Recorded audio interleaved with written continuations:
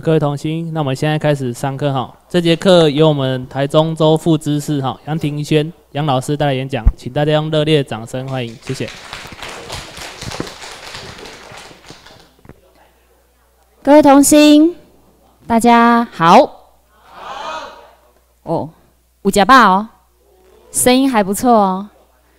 下午节加更饱的，好不好？啊，这个，这个我突然有一点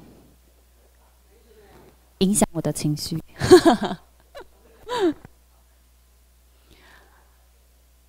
我想在座的童心，经过昨天跟今天这样子上课，对台湾民政府的认识有没有比较深入？有，有觉得清楚台湾的历史吗？真的吗？真的哈，那你们都比我聪明。我刚上初级班的时候，对，没错，我刚上初级班的时候，我就算上完了哈，我都还觉得对于台湾的国际地位还有点混乱。我还可笑脸。哦，你那有经历过，好，那就清楚哎。那我这样问问看，在座的童星啊，家己来亚手。童心，很棒。你是自己看网路吗？哇，你真的不简单。你几岁？十八。这里有你的家人吗？哇塞，你不简单哎！明日之星，哎，这真的应该鼓励一下，真的应该鼓励一下。那有没有被逼来的？哇，好难逼哎。一定有诶，来笑诶，这应该拢是吧？我甲你讲啊，我嘛是互人逼来的，我也是被逼的啦。哈，逼着逼着逼着就变老师了，有没有？我刚开始哈，为什么会加入台湾民政府？我是被我妈逼的。我妈呢，她就先有一天，她就跟我讲，我隔壁有一个阿姨，改讲台湾要变天了。然后我妈就说：“那我扣零啊，阿要变什么天？要换政府？你刚在？一共不可能吧？”她说：“真的很震撼，你一定要去听。”啊，我妈就跟我讲：“我的公，你好难骗啊！那我扣零啊，对不对？你们第一次听到的时候，应该跟我有一样的感觉吧？我讲那我扣零啊，然后诈骗集团丢。”我也是这样想，诈骗集团。可是我跟你讲，我妈那老一辈的有没有？诶，他们不会认为是诈骗集团，他们的想法是，他们认为这是一个政治团体。他在他们的观念里面，他们只是觉得说，诶，他们去参加这个政治团体会不会被抓？诶，好俩去乖吧。他们不不觉得这个是诈骗集团，但是我们年轻一辈，我们会觉得说，诶，这应该是诈骗集团骗人诶。对。啊，我嘛都讲好，我你陪我去听，听看麦，听去听听看哈，他们讲台湾民政府到底是什么？我说安尼好啦，无我陪你去听看麦，因为惊妈妈好人骗嘛。我们就去到当时我是住在桃园，我们新竹州的州办公室，我们就去那里。然后我们当时那时候的知识，他就大概讲一下，他就说：你知道中华民国是什么吗？谁知道中华民国是什么？啊，不就是中华民国吗？啊，不就不过就是中华民国。他说，中华民国是流亡政府。哦，我第一次听到，从小到大读了这么多的书哈，第一次听到流亡政府。哎，为什么？政治能感吗？年轻人是不是都政治能感？你例外。政治能感，通常听到这种东西都想说，不可能嘛，没听过嘛，什么流亡政府啊，然后什么国民党、民进党。谁会关心？I don't care。所以讲完之后出来，我妈问我说：“哎，你听无？”我讲绝对听无话啊！啊，你咪去参加黑啦，政治是黑暗的，是恐怖的。我们不要去参加这个东西，我们就好好过生活就好了。好，我们就过了一阵子，啊，隔隔壁的阿姨又来了。哎，开初级班了呢，跟你咱们该去上课。哦。我妈都等来跟我讲，啊，不然你先去上课。我觉得好像还不错，不然你先去上。我就说啊，你怕被人家抓，你就不怕我被人家抓？你自己不敢去上课，你赶快去上课。我妈说你年轻呐，你先去上啊，然后先听看看哈，他们讲台湾民政府是什么。啊，那是真正是骗人的，你等来再跟我讲。我讲我哪有时间，我无时间啊，我无闲。我知道你这里有空，你有闲啊。然后就为透早甲暗时一直甲我录，一直甲我录。我甲伊讲，上尾啊，就是啊，友好嘛。好啦，好啦，好啦，我去上，我去上。我想讲吼，上上来吼，我再等去甲伊讲是虾米嘛，对无？因为我嘛听无啊，我就来上初级班，所以我是被逼来的。可是呢，刚好有一点，我本身对历史这一块我就特别的有兴趣，所以我来上课的时候，我很认真，我很认真的听老师在讲课，我很认真的听他们在讲台湾的地位是什么。所以我初级班上完的时候，不傻傻，而且跳龙宝啦。因为你刚开始接触的时候，哈，他那个顺序的混乱一定会有的。可是哦，我非常勇敢哦。你们现在应该有一些些跟我一样的感觉。大概你上了一两天的课之后，你有没有觉得自己很特别？你有没有 觉得自己跟别人不一样？知道了一些不一样的东西？我那时候就是这样，所以呢，我喝个水。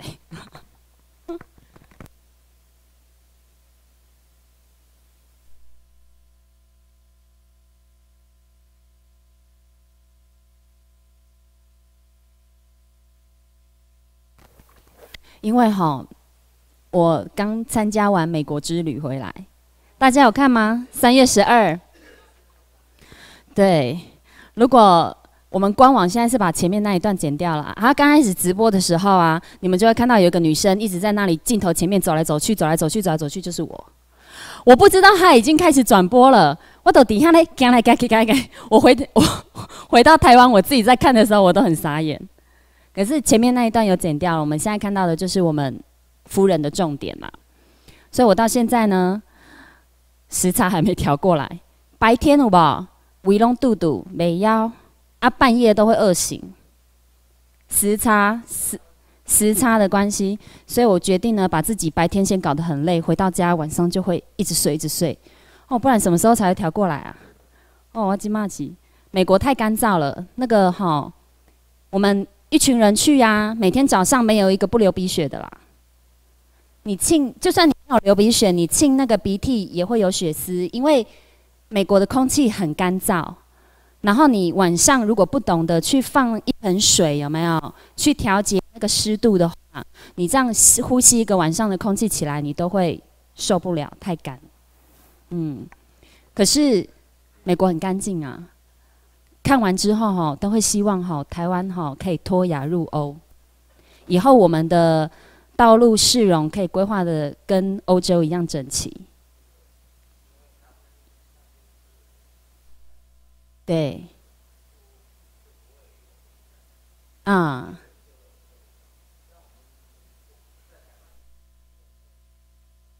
嗯，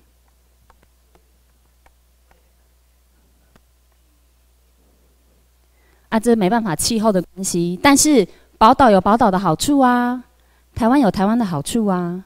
哎呀，我们爱台湾嘛，对不对？爱台湾。好，我继续。所以呢？我上完了初级班之后呢，我就秉着一股我觉得自己是特别的力量，我就跟我朋友分享了热情，我就跟我朋友讲台湾民政府，结果他听完之后，经过一个晚上，隔天就打电话给我，我跟你讲，我认识你十几年，你好难骗呐！哎呀，多谢呢，讲一句话，伊就讲，你好一定没有上网去查，对不对？我说查什么？你没有上网去查官网去查一些台湾民政府是什么吗？我说啊，我知道，一定写诈骗集团。他说对啊，你没查对不对？我就知道你的个性，人家讲什么你就信什么。我说我是啊，可是我还是有脑袋，我会判断啊。我来这里上课，台湾民政府已经成立几年了，它不是短短的一年两年的事情哎。在台湾民政府里面有多少的博士、硕士、医生、老师、律师？这么多聪明的人，会差我一个这样的笨脑袋吗？他们会相信台湾民政府？他们会问的问题，早就提前我好几百倍以以前就在问了吧？我还需要 care 什么吗？如果我有疑问，问出来应该就会有答案了。该查证的，有聪明的人去查。然后他就问我说：“旧金山和平条约上面不是写第二条不是写日本已经放弃台湾澎湖的民利请求权了吗？怎么还可以说是日属美战？”我回答不出来。因为初级班才刚上完，大家知道为什么吗？有人知道了吗？还不知道哈。所以呢，我现在呢，想要带大家看的就是台湾的一个历史的轨迹。我尽量的让大家可以有一个顺序的理清楚台湾从以前到现在一个真正的历史。前面稍微有一点点无聊啦，但是我们还是得知道这样子啊。你当你在思考我们的法理论述的时候，你才会很清楚。现在大家看到的这个台湾 Formosa 美丽之岛，这个地方是哪里？有看过吗？台湾是台湾吗？这个三块这个东西，嘿嘿嘿，是台湾。这十三、十四世纪最早的台湾的地图。那个时候啊，刚开始大航海的世界的时候，然后呢，从这个新那个日本琉球，然后来到台湾，发现台湾的时候，那时候航海的技术还没有那么发达，所以绘出来的台湾的地图是这样的，是错误的。但是这是我们最早期的台湾的地图。那发现哇哦，怎么有一个这么美丽的岛屿？Formosa 在欧洲，他们西方的世界，他们称之为美丽，他们就将这个来赋予我们台湾，所以台湾就叫 Formosa。那大家猜猜看，最早活动于我们 Formosa 的外来的民族是谁？猜猜看，荷兰，嘿，还有呃美国、英国。葡萄牙、西班牙、荷兰，大概都是这些答案，对不对？中华民国流亡政府的历史教育成功了，你看，大概答案不外乎这些国家。但是最早是谁？日本哦，这在历史文献上都是有记载的。十三世纪，日本人已经在福尔摩沙岛活动，一直到一六三三年德川幕府锁国政策。禁止日本人赴海外发展，才停止的。所以，日本至少比中国提早三百年以上，在台湾的这块领土土地上居住跟活动。那大家知道刚刚所提到的荷兰，大家知道荷兰呢，它算是一个比较有系统占领台湾的一个国家，所以大家对它是比较有印象的。可是大家不知道的是什么？荷兰，它要来到台湾，还得经过日本的同意。它每年必须向日本的德川幕府进贡三万张以上的鹿皮，才得以准许进来台湾这块土地上活动跟交易。那荷兰为什么要来台湾？贸易。当时呢，欧洲人最喜欢中国的什么东西？瓷器、丝绸，对，对他们来讲跟黄金一样般有价值。所以荷兰他想要这块利益，那他要一个什么转运站，来去转运他的这个连接东方，然后跟西方的一个利益的一个转运站。他一开始是选澎湖，可是澎湖离当时的大明国太近了，所以大明国有派兵攻打。荷兰赶出去之后，他第二次选择的就是台湾。那既然他是以经济利益为考量，将台湾作为转运站，请问他会好好的建设台湾吗？会好好的对待台湾原本的居住的人民吗？有没有听过那个淡水有一个乐兰遮城、红毛城？这就是当初荷兰来到台湾占领的时候、占据的时候，他们所建立的一个军事基地，叫红毛城，对不对？所以有没有听过红毛鬼子？就是指荷兰人。所以当初他们一样来到台湾，不会好好建设，就是欺压。我现在讲的都是很重要的，因为它会影响我们台湾以后的文化的发展。所以，我们十六、十七世纪啊，在这个时候，台湾它已经奠定一个很重要的地理位置、经济枢纽的一个位置。我们十六、十七世纪，西方史家称大航海的时代。那大家知道，中国的汉民族在那个时期都还不知道航海图怎么绘制，这个叫做一个文化的落差。那等到以后我们被中国统治的时候，流亡政府中华民国统治的时候，它会造成我们的历史事件，因为文化素养的落差，从十六、十七世纪就已经建立了。我们从开始，你要放大你检视你收到的资讯。刚刚大家是不是都猜荷兰、西班牙、葡萄牙？可是我们万万没有想到，其实最早的是日本。我们所学到的历史，所你所看到的东西，不一定是真相，因为我们没有去研讨，没有去研究而已。我们 Formosa 政权一个轮替大概轨迹。一六二四年，日本让与荷兰；一六六二年，荷兰让与郑成功；一六八三年，郑氏王朝让与大清帝；一八九五年，大清帝国让与日本；一九四五年四月一号，日本正式将台湾编入国土的一部分；一九四五年，因战败而被中国人占到今天，七十年了，我就顾尾吧。所以，像这样子的一个政权轮替，我们要很清楚的。我们刚刚看到的荷兰东印度公司，当他占据台湾的时候，请问他有没有拥有台湾的主权？为什么没有？不是，因为土地，他占领的土地只有哪里有效管辖的区域。并没有整个台湾，现在看到的是不是只有一一点点的部分？对，他没有在台湾建构完整的主权。你要建构完整的主权，必须有效的管辖整个台湾。那郑氏王朝呢？为什么郑成功会要占领台湾？为什么他要把荷兰赶走？是为了台湾人吗？为什么？对，反清复明，有没有？反清复明，当时他为了反清复明，他需要一个基地，所以这个基地他就设立在哪里？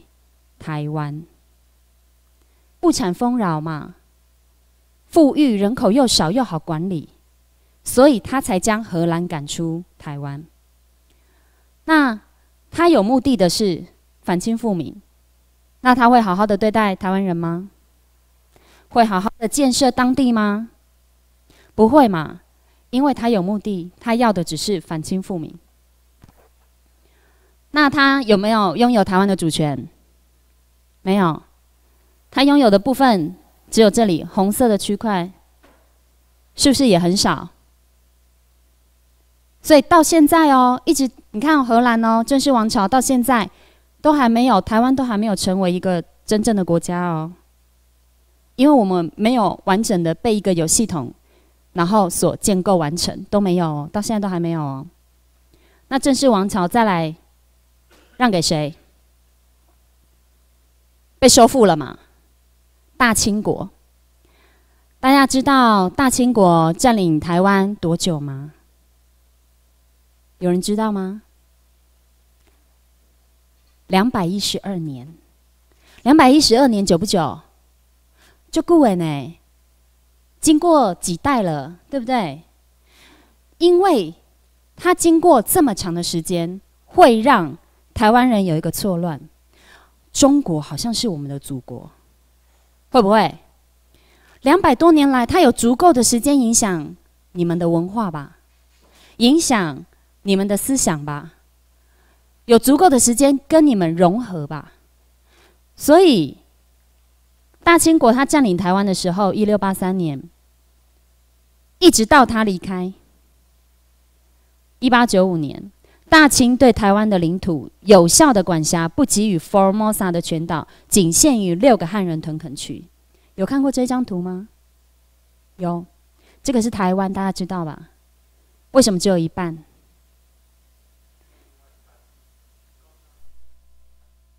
高沙族，但是高沙族为什么就不是属于大清国呢？Why？对，因为他一直以来都没有去统治到。我们有人看过那个赛德克巴莱，对不对？他是不是保护我的猎场很英勇？你只要进来就猎头杀死。也就是因为他们这样英勇，而且高山的关系，所以两百多年来。他都没有完整的、有效的建构台湾的主权，所以大清国有拥有台湾的主权吗？没有哦，他也只有一半而已哦。所以这个是重点。大清国所认知的台湾，大清国没有钱吗？还是大清国没有兵吗？为什么他不去攻打高沙，然后建构台湾完整的主权？为什么？大清国认为台湾是他的什么殖民地？不是，他认为台湾是一个荒芜的化外之地，很难想象哈，因为他们都不知道台湾是个宝岛，不知道原来台湾是一个物产丰饶、一年三收的国家。他们不会发觉。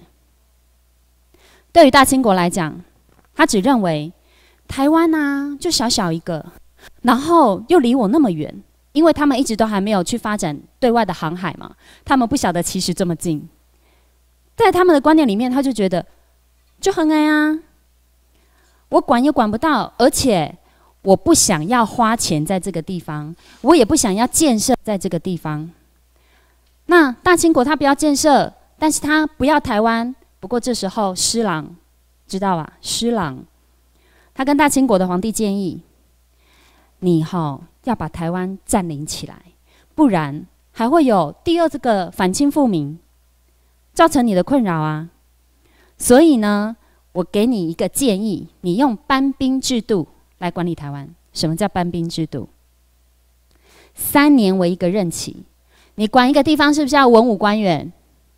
文官是什么？我们所谓的一些政务官、事务官，比如说我们的桃园县长，然后新竹市长，那他来到这个地方，我们讲这样子来回坐船好了啦，给他扣掉半年。然后你来到这里，熟悉一个地方，里长啊，熟悉这个环境，要不要一年？等你熟悉了，剩剩下一年半。然后呢？这一年半，你写个计划书，准备要建设的时候，拍谁利亚邓启啊？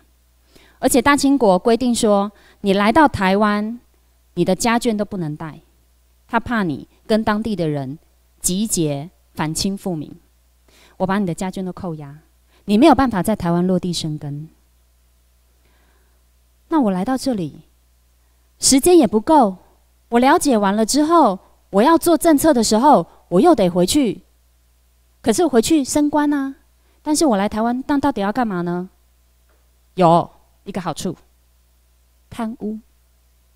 来台湾能拿的就拿，能贪的就贪啊，反正我也不需要什么建设啊，大清国也没在重视，也不会怪我啊，他只是就是做做样子而已。武官，武官要标兵来管台湾，兵是什么人？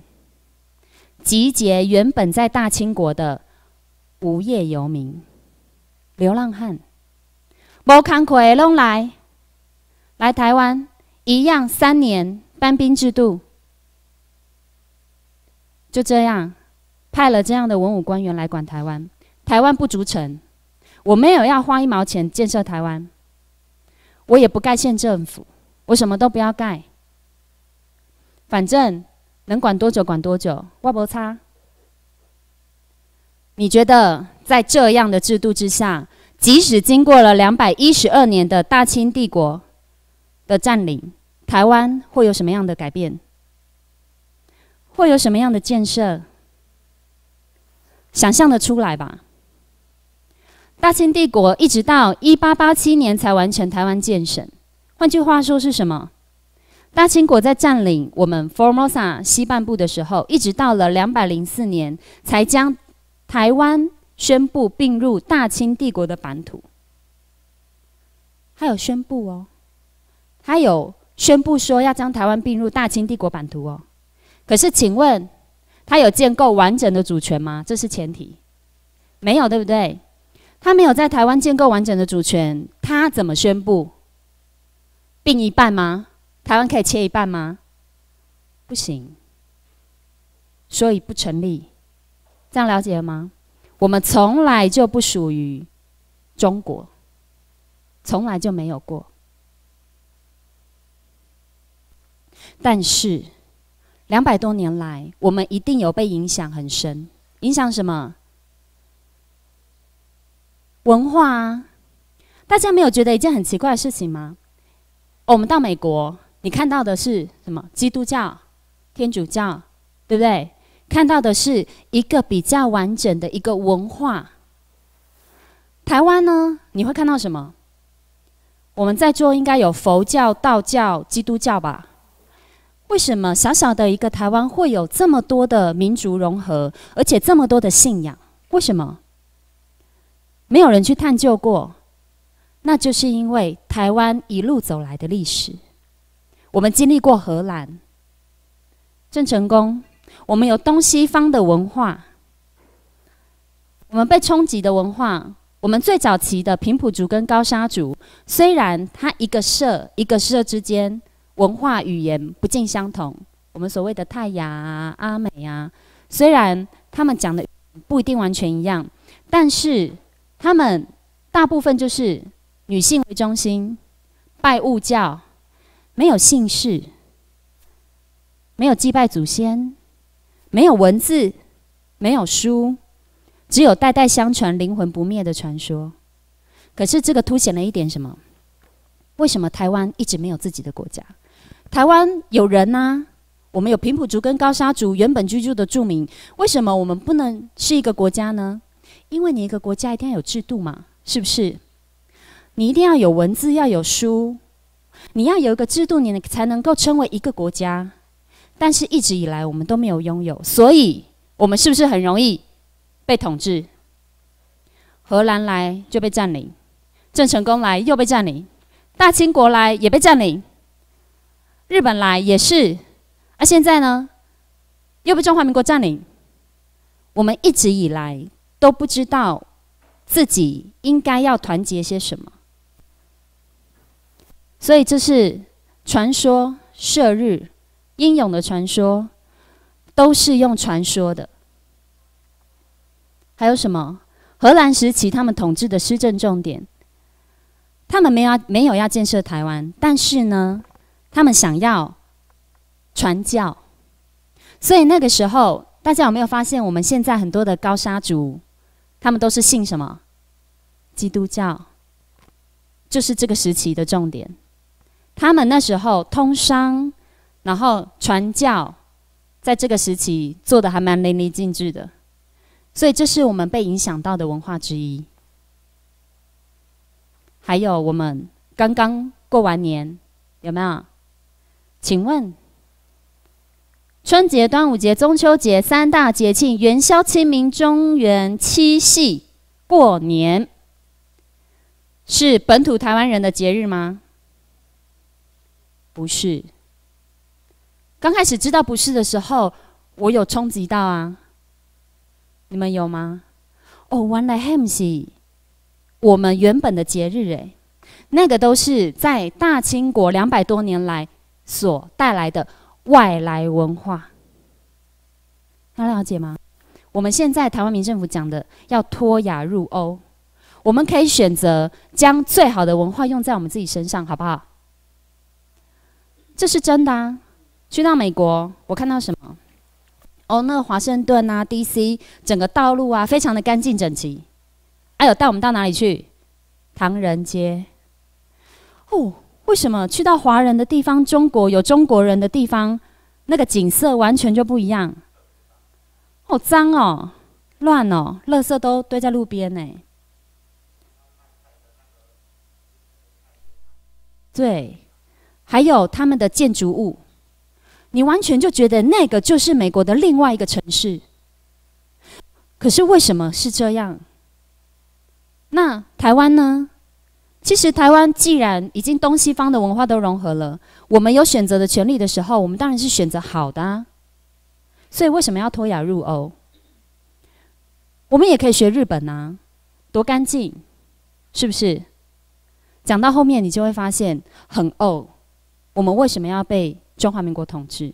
不然台湾现在的光景绝对不是这样。所以大家要了解我们台湾被冲击的文化，你只要清楚了，人家在讲哦，台湾从以前到现在的历史，你会很清楚什么是对，什么是错。可是没有关系，像今年过年，秘书长就讲啊，过年回来，我问你们呐，上午包昂包、收昂包哎，走地龙舞，没办法，那也就是我们一直传承下来的。但是我们最起码要知道，我们本土台湾人原本真正的是什么。所以这样子的集体潜意识啊，它会造成一整个世纪的魔咒，搞到我们现在都不知道我们自己到底是谁，这是很可怕的一件事情。大家有看过这个吗？大皇帝陛下。大清帝国的大皇帝陛下跟大日本帝国的大皇帝陛下，皇帝跟皇帝签这个框起来的地方，台湾全岛及所有附属各岛屿，澎湖列岛及纬度什么什么巴拉巴拉，有没有？这个看起来很像什么？像不像土地权状？这个就是土地权状。在一八九五年，大清皇帝正式将台湾及澎湖永久割让给日本天皇。他签的东西叫做土地权状哦。这个会在你台湾的这个新台湾论法理论述里面很容易混淆的是，哦，日属美战的意义。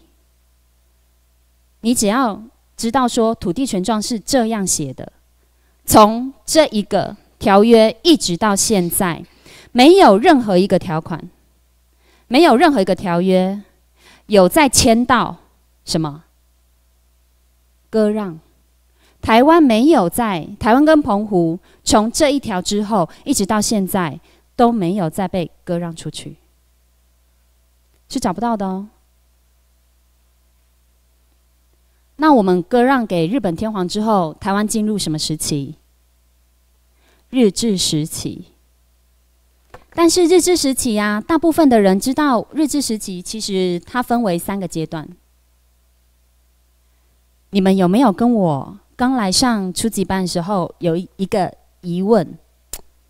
我那时候上课，我听很多老师讲讲讲讲，我就想说，哎，玲珑宫啊，日本啊，日本人对温瓦赫都瓦赫。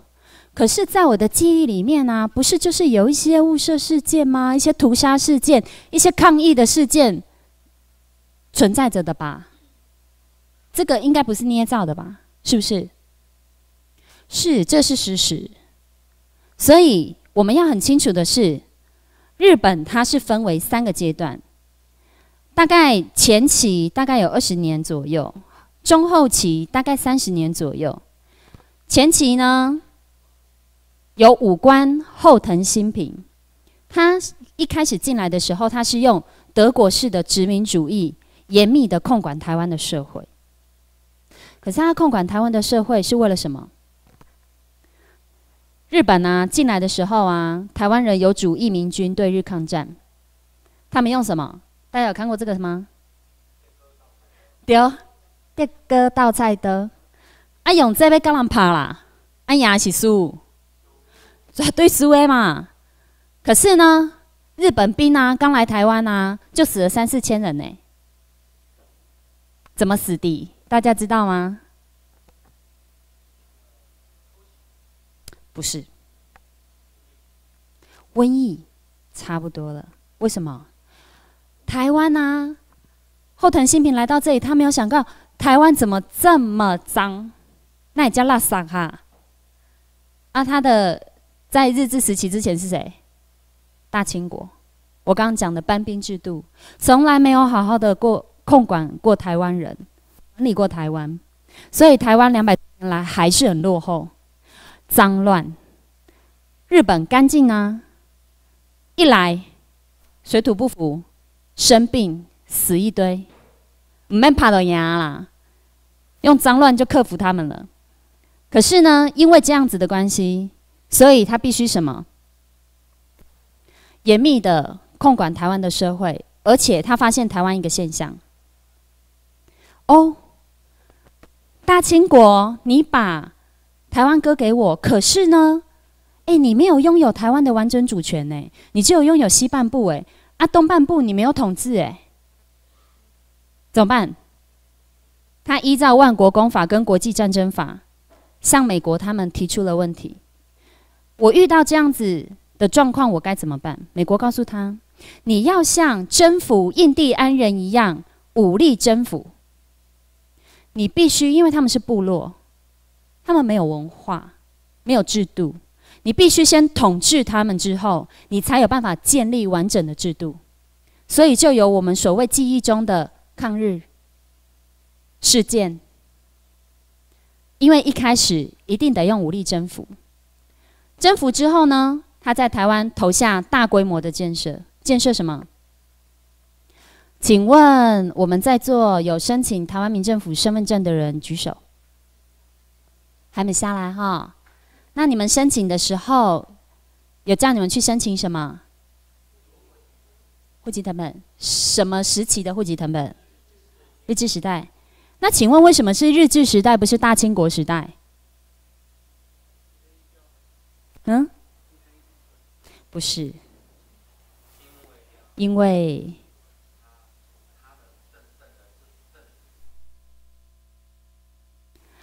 为什么呢？是日治时期，为什么不是大清国时期？因为一直到了，你看台湾有多可怜，一直到了日治时期，我们才做了户口普查。在大清国，他不想管你有多少的人，他不 care。可怕吧？一直到了日治时期，他才做了户口普查，把你家家户户你到位开几高早的人啊、归因啊，然后把你调查个清清楚楚。所以我们申请的是日治时期的户籍成本，因为那个时候已经做了完整的规划，一直沿用到现在。所以你说后藤新平有过吗？他也有很大的功劳。土地调查、户口普查、风俗习惯、生物学、科学、农业、工业、卫生、教育、交通、警察这样的建设之后，一直到了一九零四年，台湾财政已经可以完全自主，不需中央补贴，甚至台北的下水道覆盖率是亚洲第一哦，亚洲第一哦，安内五高不？台湾的财政可以完全自主的意义是什么？很重要。我刚刚是不是一直有提到，荷兰、郑成功、大清国都不想建设，建设要不要花钱？但是你确定一定会回收吗？日本聪明，他知道台湾这块土地是宝岛，他投入这样的建设之后，在一九零四年已经可以自给自足。一年三收嘛，物产丰饶，除了自给自足，还可以成为日本的大米仓。这就是他的远见。所以，他投下的建设，造就了台湾的鱼米之乡。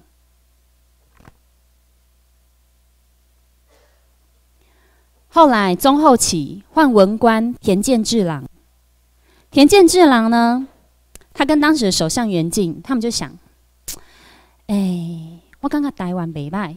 离日本又不远，日本琉球包括台湾，我们来把它规划成日本的国土，好不好？礼拜哦，所以他们做了一个内地延长的主义政策。这时候要开始同化，为什么要同化？依照《万国公法》《国际战争法》，他要将台湾纳入为日本的国土，他必须经过一些规定，让台湾人跟日本人一样效忠天皇，废止鞭刑，佩戴武士刀，日台共学，日台通婚，任用我们的工程师八田羽一。大家知道八田羽一吗？我们很有名的水木工程师，来建设台湾。一个深爱台湾的日本人，一个震撼亚洲的伟大工程。这个是在乌山头水库的雕像，有没有去玩过？有。为什么纪念他？他为台湾做了很大、很很大的贡献。台湾的嘉南大郡的设计者乌山头水库，参与下水道新建高雄港水道计划，桃园大郡都是日治时代现代化重要的土木工程。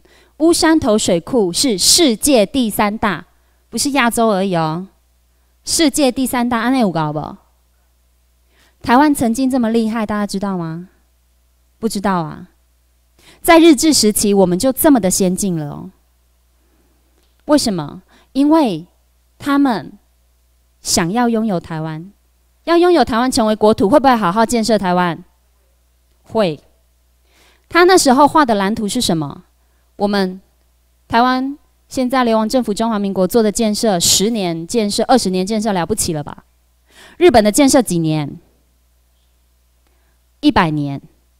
一张蓝图一百年，到现在还有很多的工程都是沿用日治时期的建设蓝图。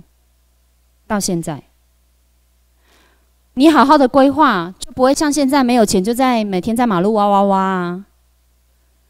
这就是为什么台湾到现在进步这么慢。那我们是因为什么了，才有亚洲四小龙？因为日本的建设，因为日治时期的建设的基础，我们才成就了我们当时的经济奇迹。耶！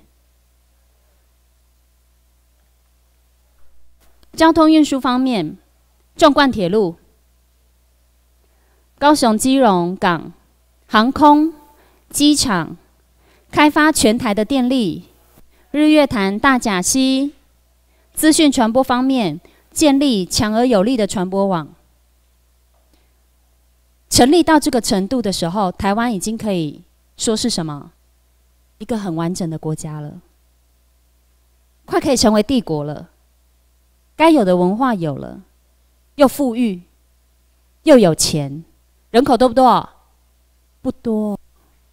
所以那时候台湾呐，每个人呐，弄就后牙，生活都过得很好。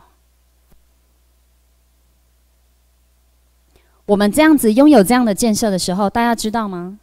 流亡政府中华民国还没有建立耶，而且落后的中国跟我们差距已经有一百年了。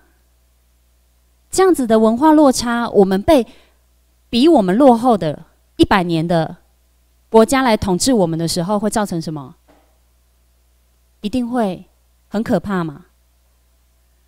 各级的行政、司法、警察、户政、农会、财政、金融，普及全岛的初级教育。普及全岛初级教育很重要，诶，它会训练我们有什么基本的道德观。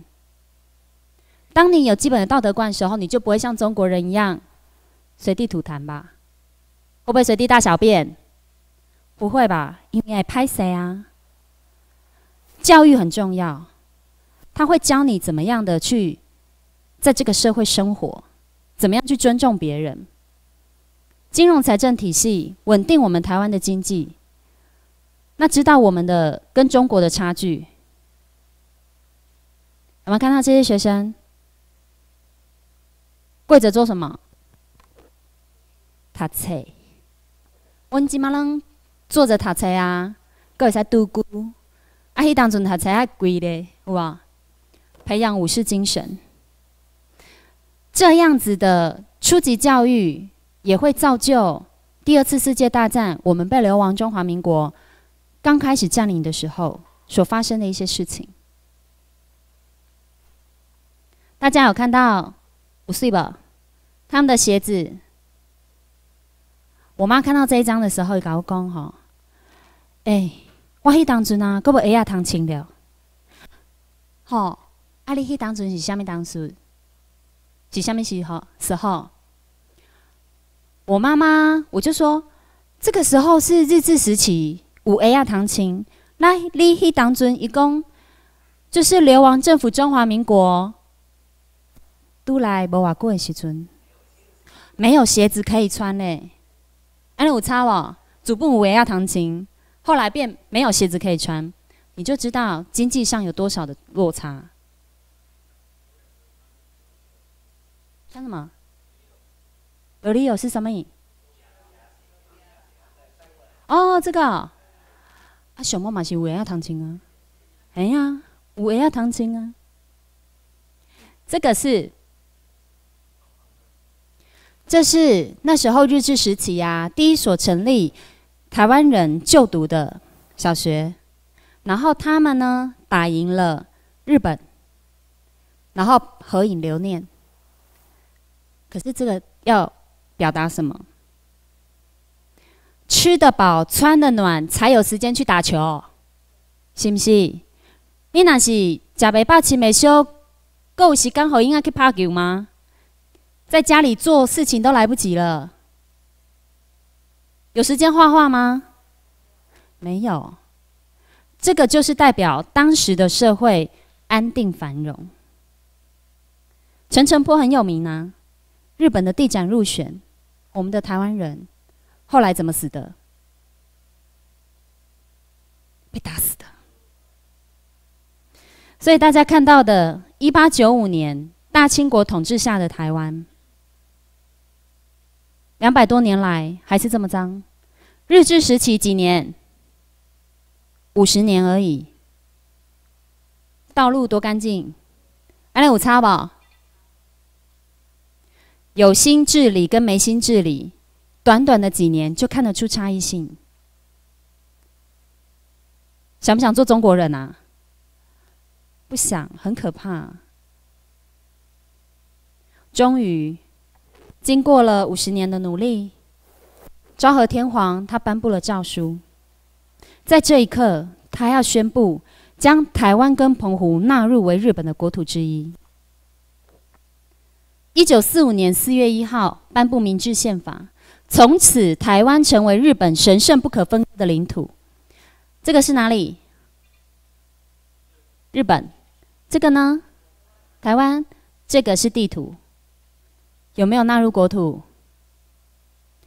将台湾纳入为日本的国土之一。什么叫神圣不可分割之领土？它有一个代表作。我们当初在签订下关条约，就是马关条约的时候，一八九五年的时候，除了大清国除了将台湾跟澎湖割让给日本天皇之外，还多割了一个地方——辽东半岛。辽东半岛是大清国的哪里？是他们的当时的奉天，他们的起源地、发源地。所以这时候有三个国家出面抗议，一共说：“但呢，黑行诶，神圣不可分割之领土，没再挂好日日日本哦。”所以日本天皇他依照万国公法跟国际战争法。又跟大清国签订了一个辽南条约，再将辽东半岛割还回去给大清国。那当台湾成为日本神圣不可分割的领土的时候，它可以被割让吗？不可以。除了不可以被割让之外，到战日本战败之后，到现在也没有任何一张土地权状有在将台湾跟澎湖割让出去。因为他依照了万国公法、国际战争法，他也有下达征兵令，然后还有赋予台湾人参政权，这是当时的报纸，完全合法。即使什么？即使它只有短短的时间而已。刚刚看到的是一九四五年，对不对？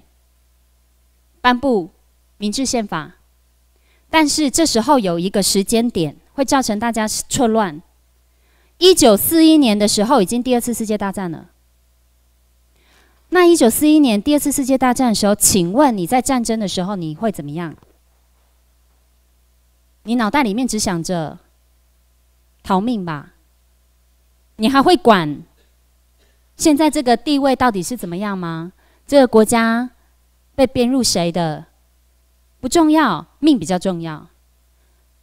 所以已经开始在战争，但是。一九四五年的时候颁布昭和宪法，四月一号。然后呢，四一九四五年的九月二号，日本投降。那我们这样子才几个月，四五个月，有没有更错乱？可是我跟你讲，它就跟结婚证书一样，你等来都是等来啊，你都是盖好呀。当那一天四月一号，它已经成为日本神圣不可分割的领土的时候，即使你九月二号无条件投降了，你还这块土地还是一样是日本天皇的领土。这样了解吗？并没有签土地权状，将台湾跟澎湖割让出去，即使他战败。这时候，麦克阿瑟同盟国盟军最高统帅一般命令第一号。他颁布了命令，他将日本四分五裂。我要把日本五马分尸，因为太强了。日本是不是偷袭他的珍珠港？所以他觉得这样的帝国主义不能让它存在。我要怎么样消灭它？我将日本的领土北方四岛由俄罗斯代理占领。韩国独岛，日本本岛由美国亲自占领，琉球联合国托管，台湾跟澎湖呢，交由蒋介石集团代理占领。可是为什么是蒋介石？美国或许当时只是很单纯的思考，华人应该会善待华人。美国没有想到说，后来会发生这样的事情。我刚刚是不是有讲到，中国跟我们的文化落差会造成什么屠杀？我刚刚是不是有讲到全普及全岛的初级教育？普及全岛的初级教育代表了什么？请问呢？一个国家没有政府哦，没有警察，台湾呢，在。流亡政府蒋介石集团来到台湾之前，有两个月台湾没有政府。请问两个月没有政府的状态下，会发生什么事情？抢劫，抢劫全联啊，银行啊，对不对？当能抢就抢啊！可是五十年的日治教育，大家想象不到，两个月的时间，台湾没有暴动。没有政府哦，台湾人自爱自重，成立自卫队，自己管理自己，等待什么？以为回归祖国的怀抱，以为呀。结果当落后的流亡政府中华民国来到台湾的时候，带来了什么可怕的事情？他们来到这里，文化落差多大？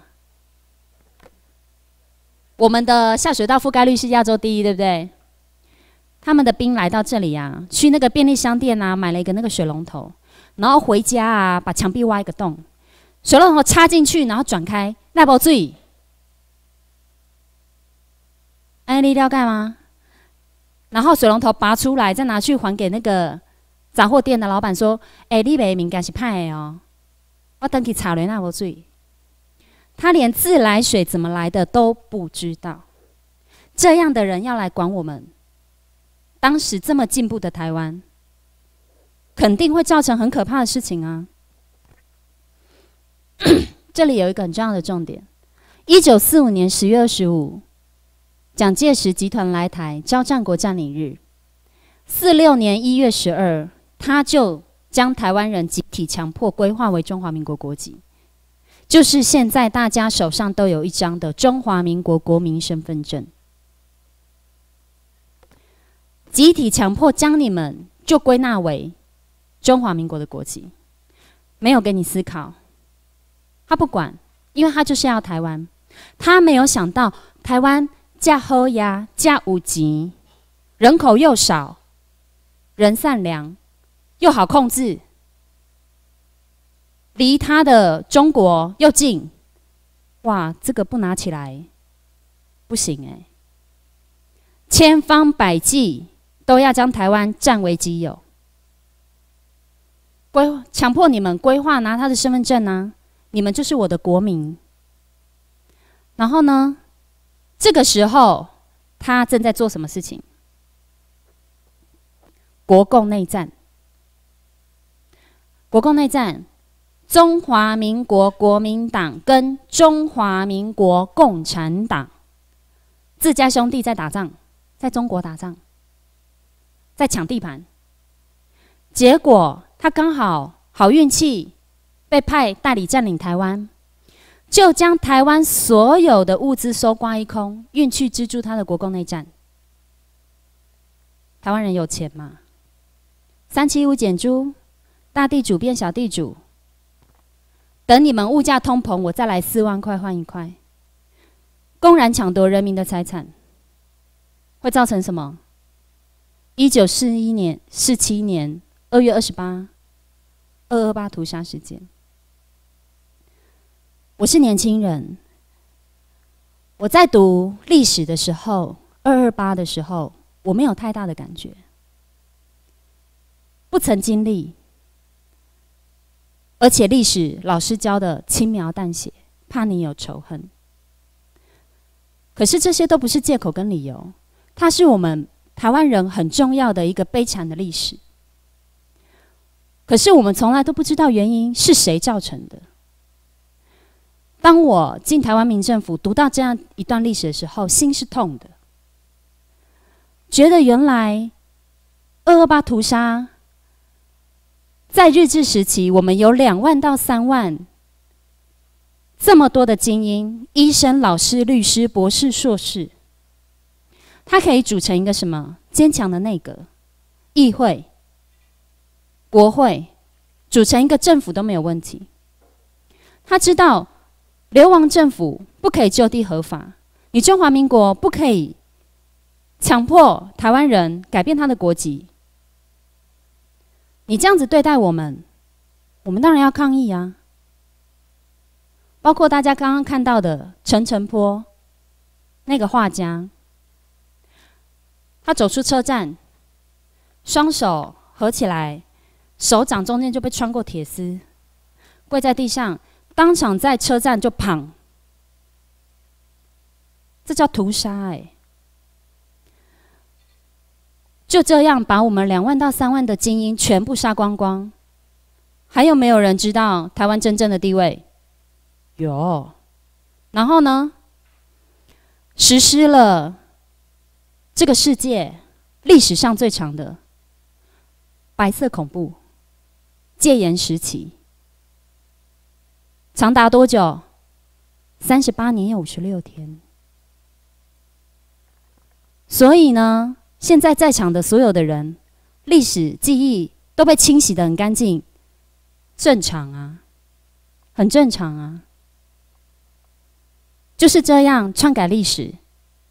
洗清你们所有对中华民国的印象，教育你们要仇恨日本。但是最重要的是，这样的事件呢，在我们的心里面呢，年轻的一代都不知道。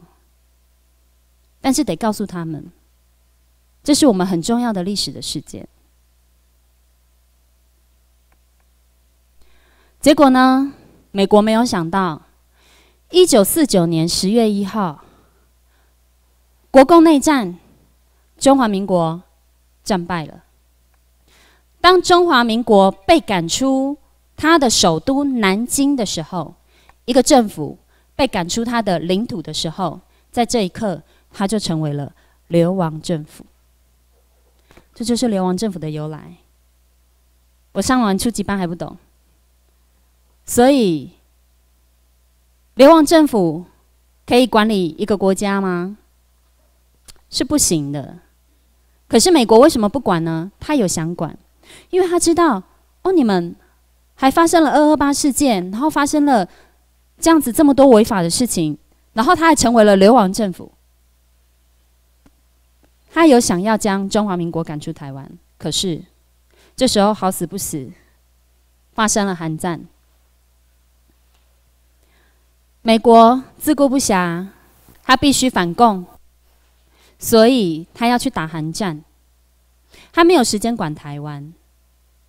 那流亡政府中华民国刚好跟他的立场是一样的，反共嘛，也没有一个国家愿意收留中华民国。所以就只好暂时让他留在台湾。结果这个暂时到现在多久了？七十年哎，哎，这个暂时真的太久了。因为韩战爆发，我们在一九五二年四月二十八，旧金山和平条约正式签签约。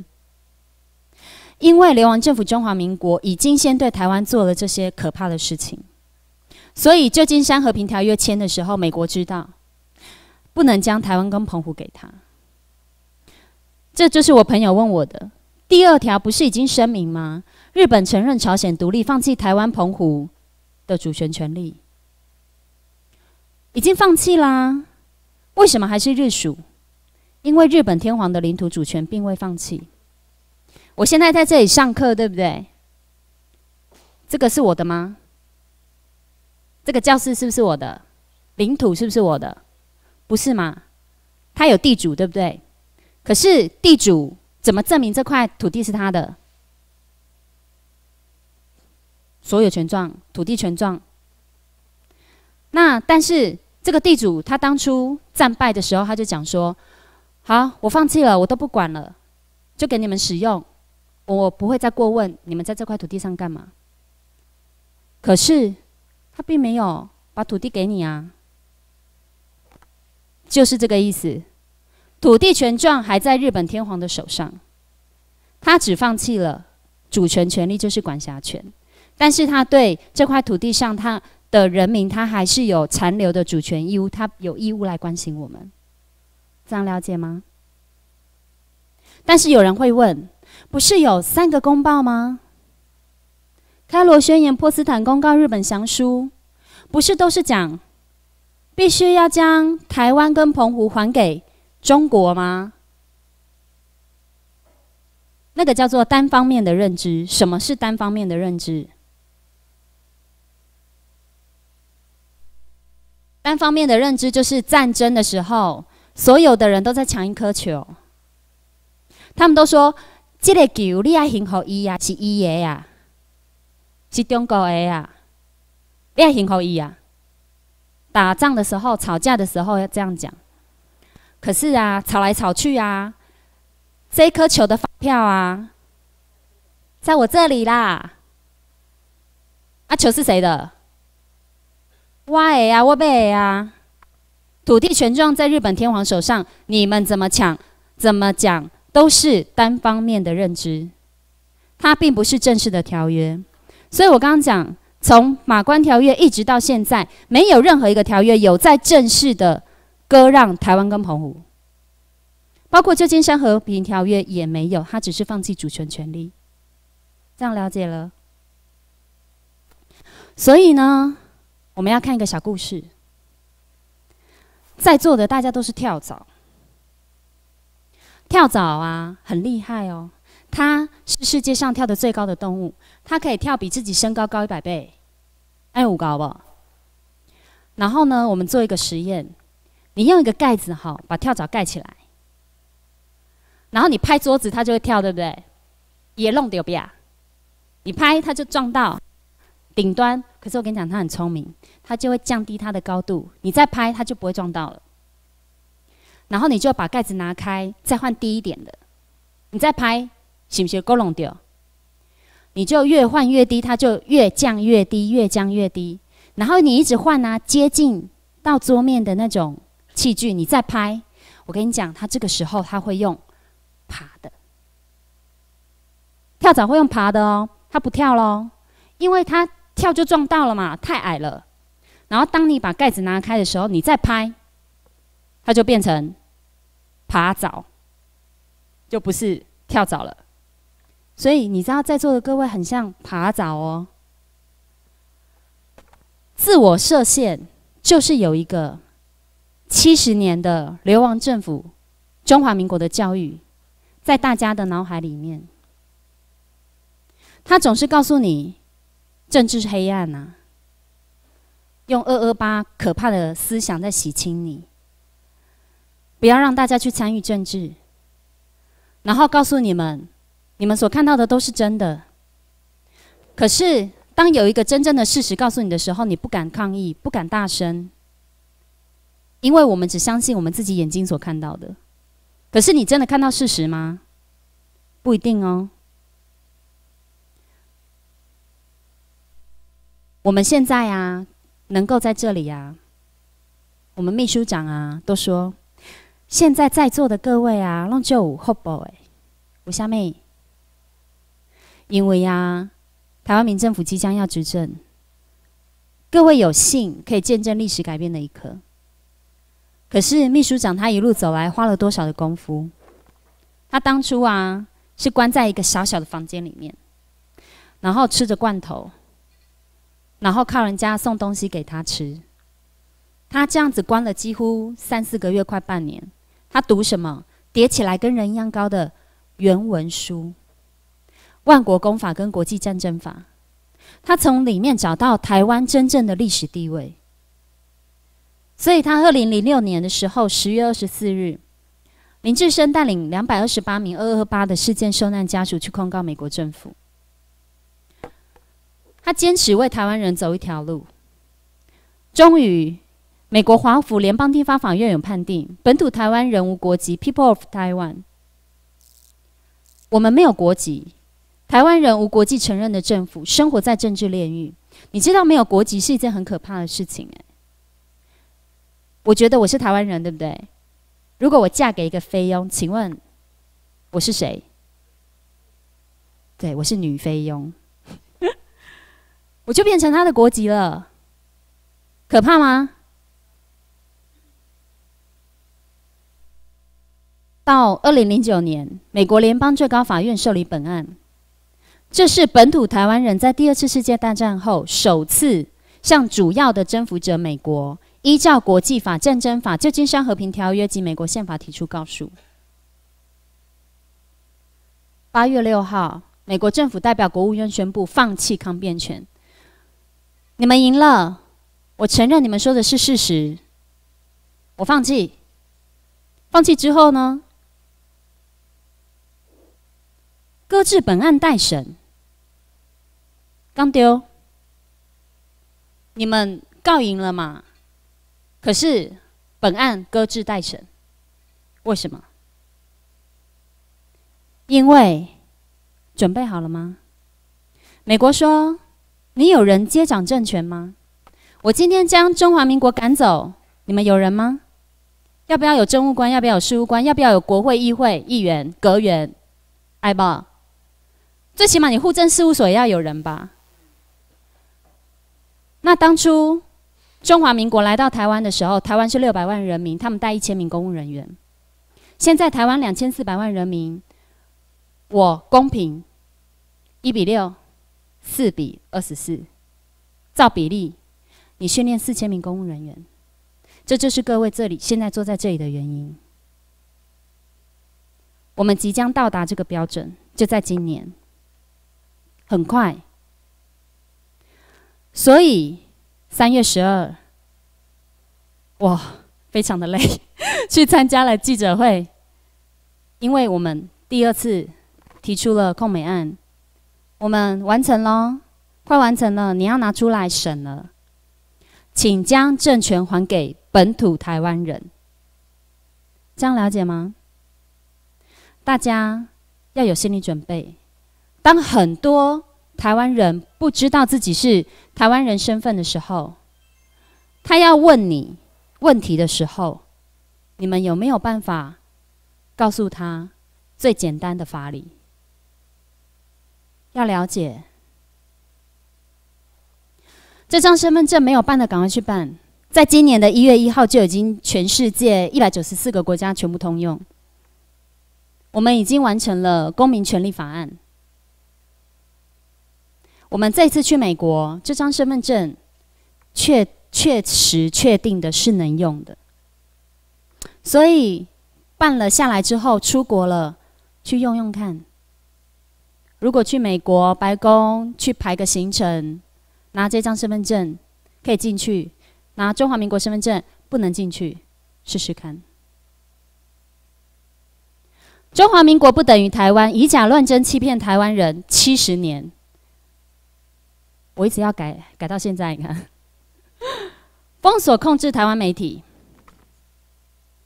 很多人会问哦，你们现在应该还好，在这几个月之前，大家都会说，为什么你们不打广告？为什么不上新闻？为什么啊？因为全部都是流亡政府中华民国的体系啊！你们要推翻我，我还帮你们上新闻，我塔卡派克吗？是不是？现在是民主自由的国家。我们要争取言论自由，应该会帮我们上啊？No，北韩自由吗？大家，我们看北韩是不是觉得他们生活在一个很可怕的政治炼狱之下？你们确定别人看台湾人不是这样吗？你们出国会去玩，谁会去查二二八事件的纪录片？台湾查不到哦，国外查得到。媒体有没有被封锁？有哎，我们没去查而已，我们不知道而已。封锁控制台湾的媒体很容易啊，丁桃也没啊。包括这一次三月十二，美国七百五十个媒体都在报道，台湾的敢报吗？连中国的新闻都报了呢。最新的，大家上网查，好像叫《世界日报》啊。中国的记者，我们去美国的时候，有一男一女两个中国的记者，跟我们问了非常多的问题。他们报道出来了，就台湾没有，神奇吗？因为在中华民国的控制下，以前呢，你要连打个广告、看个报纸都是很困难的事情。现在不一样了，时代在转变，局势在转变，该挡的挡不住了。所以捏造台湾历史真相，我们读的七十年的历史，大部分都是假的，都在读什么？康熙、乾隆、雍正、慈禧秘密生活，有意义吗？我们跟中国有关系吗？没有哎。本土台湾人的历史就这么一点点，台湾的历史就一点点，读的都是中国的历史，哎，很奇怪。流亡政府中华民国的肇事选举，你拿着中华民国国民身份证去投他的议员、市长、总统，就代表你要做他的人啊？你要做流亡政府中华民国的人吗？他的领土现在只剩下金门、马祖跟平潭而已哦，非常小哦。还是台湾大，而且台湾以后会很有钱。体制内的政党，国民党、民进党、台联党，请问民进党登记什么？中华民国民主进步党，前面是什么？中华民国，那他被谁控制？中华民国，他有办法跳脱吗？没有办法。就连阿扁上任四不一没有上任了，才知道。哦，原来台湾的历史是这样，来不及了，党派登记就登记啦，除非像我们这样跳脱。但是台湾民政府只有一个，因为告赢的是我们，很可怕。台湾呢一直在被卖掉。我姐姐啊。她那天跟我讲说：“哎，我哈快没有工作了。”我说：“为什么？”我姐姐是卖卖这个，你们现在看这个投影布幕有没有？投影机，他们公司是做这个的，台湾的厂商。那他们都跟谁配合？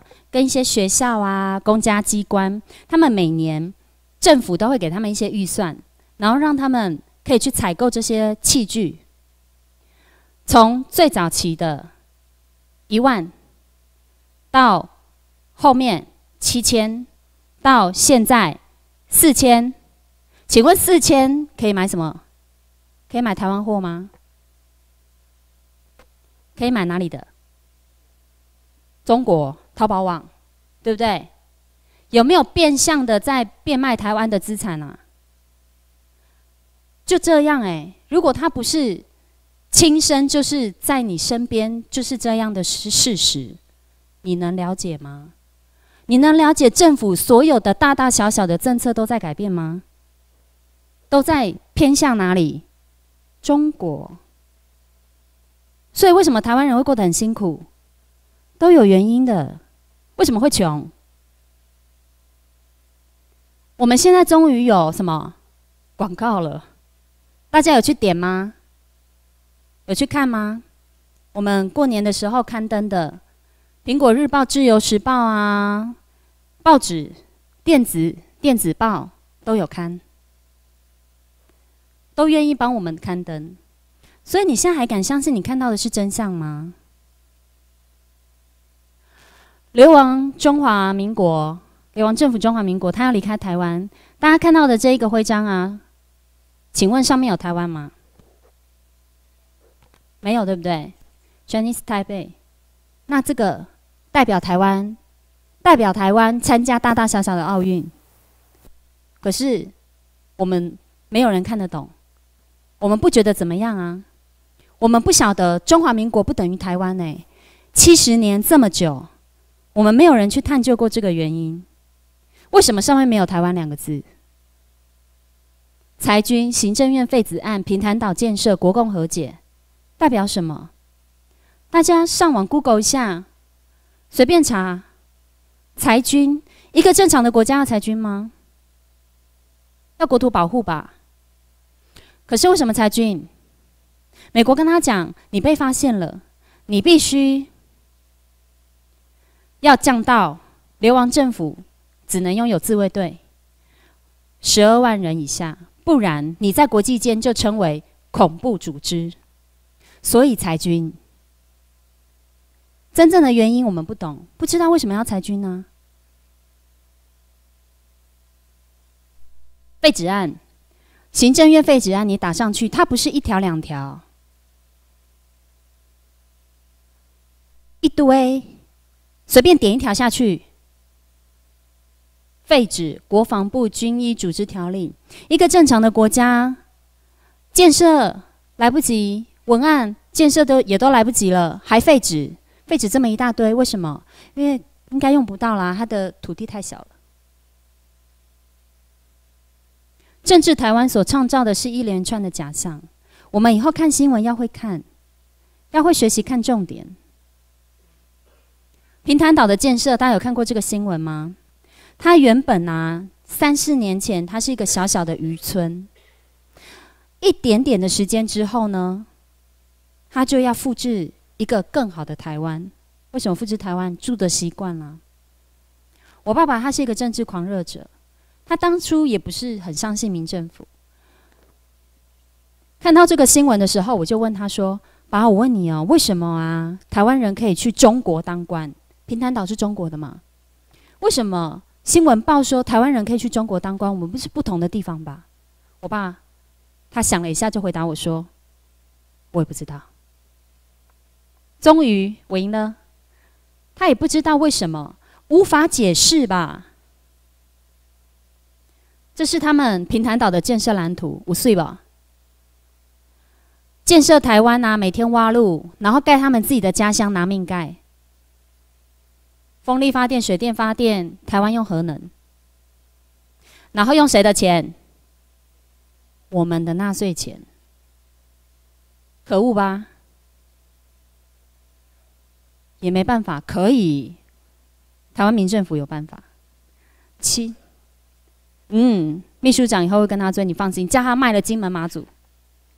台湾人生活在政治炼狱，七十年来，越南大暴动，他只能发贴纸。哦，我是台湾人，只能这样保护你。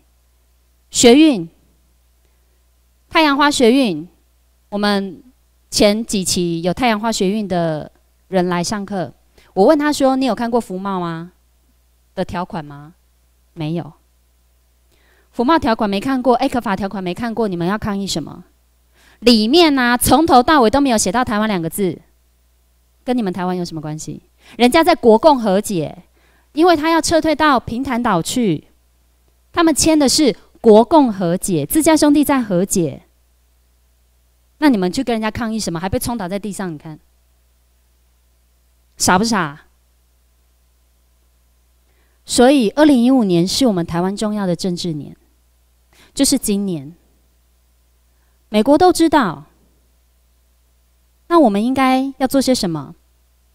我们现在啊，即将要到达四千名的名额，配合控美案，我们四月份。还要在日本再开酒会，这就是我们一直没有停下脚步在前进。今年执政，我们重要的史官呢要去导正。我们要了解什么是我们大家共同的使命。我来到台湾民政府啊，我觉得人一个人好一辈子啊，你有想过你可以为台湾这个社会？做一点点有意义、有贡献的事情吗？很伟大，对不对？通常不觉得会落到自己身上，可是台湾民政府给你这个机会，他让你有这个机会参与改变历史的一刻。等台湾能够有本土台湾人执政的时候，我们可以好好的建设台湾，不要每天挖路，不要贪污，该水土保持就做好，让台湾成为真正的 Formosa。只要我们团结，各位赶快过五关，介绍你们的亲朋好友进来。就在今年，你们就可以看到历史的改变。有没有信心？加油！谢谢。